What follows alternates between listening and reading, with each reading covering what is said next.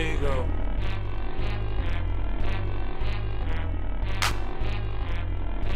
Uh-huh, I like that clap. Woo!